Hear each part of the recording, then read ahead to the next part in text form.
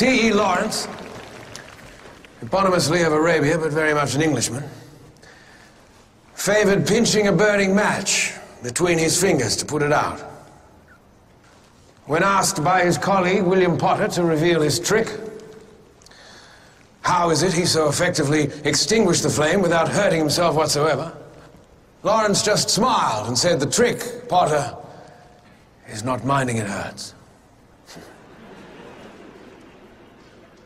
The fire that danced at the end of that match was a gift from the Titan Prometheus.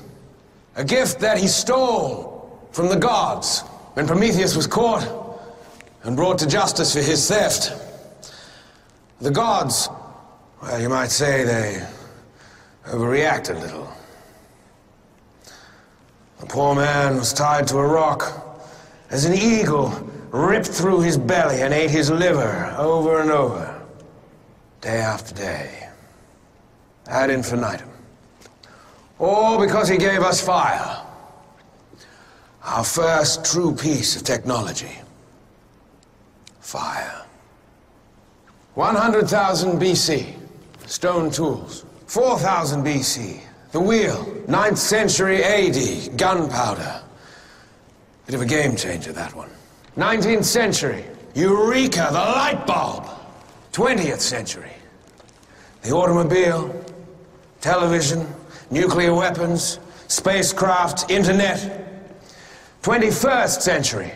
Biotech, nanotech, fusion and fission and M theory. And that was just the first decade. We are now three months into the year of our Lord, 2023. At this moment in our civilization, we can create cybernetic individuals who, in just a few short years, will be completely indistinguishable from us.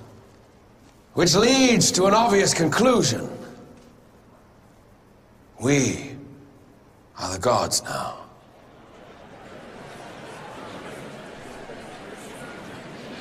For those of you who know me, you will be aware by now that my ambition is unlimited. You know that I will settle for nothing short of greatness, or I will die trying. For those of you who do not yet know me, allow me to introduce myself. My name is Peter Weyland. And if you'll indulge me, I'd like to change the world.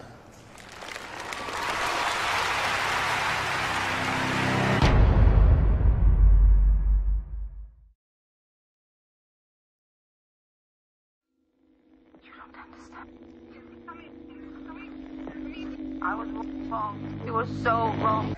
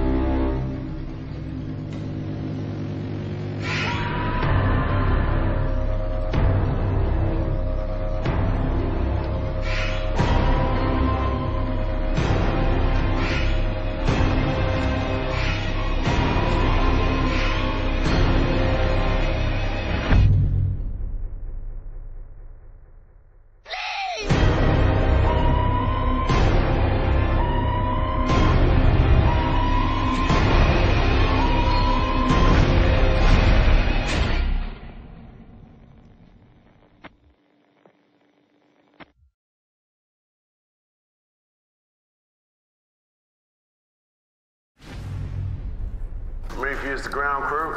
One of them probes picked up a life form.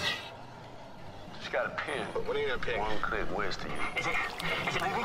What's that? Everybody back on the ship now. Stay calm. It's okay.